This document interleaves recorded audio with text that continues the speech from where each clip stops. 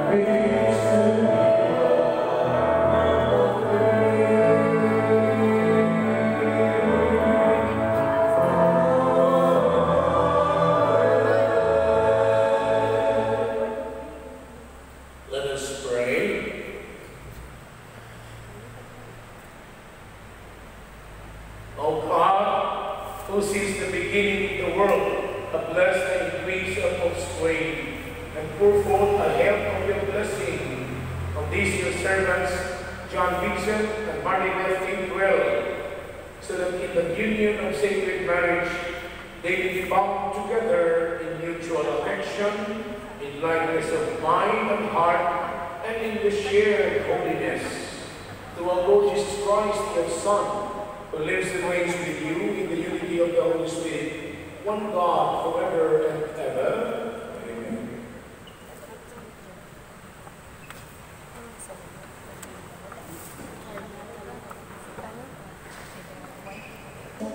Name of the Lord is God, and he shall remain, for not his witness shall reach to the end of the earth. He shall be peace. The word of the Lord.